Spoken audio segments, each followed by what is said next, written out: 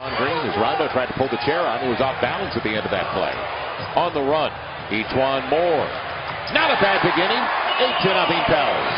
Push, wrap around dribble, head up, looking at his options. In 14 minutes last game. Yeah, he looks like he's going to have the same thing this tonight.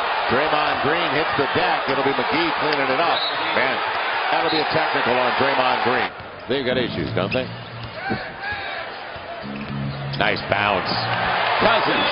And we'll get another look to see if it hit the glass first. Clock down. He knows it.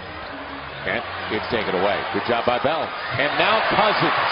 Given away by Green. Holiday's there. Oh, Draymond Green forced that miss. They're looking for transition.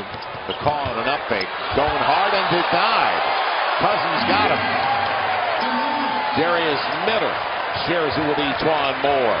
Pays off first. But what about the follow through? Timeout. Golden State. Oh, have it. Follow through. Cousins up against McGee who jumped the route. And a good run.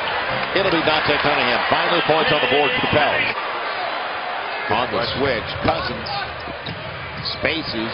It'll be E'Twaun Moore. Back at it. Eight-point game. 36 in the first two quarters. They need another 30-point quarter, I think, to pull this one out. Pass inside. E'Twaun Moore. Thompson sees the ball. that went right over his shoulder to the team.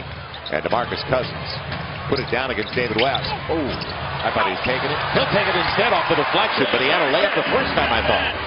Yeah, the Pelicans are actually at their average uh, now. Green. And blocked away. Tapped by Curry. Out of bounds to the Pels. That's nice. Because I thought he was beat.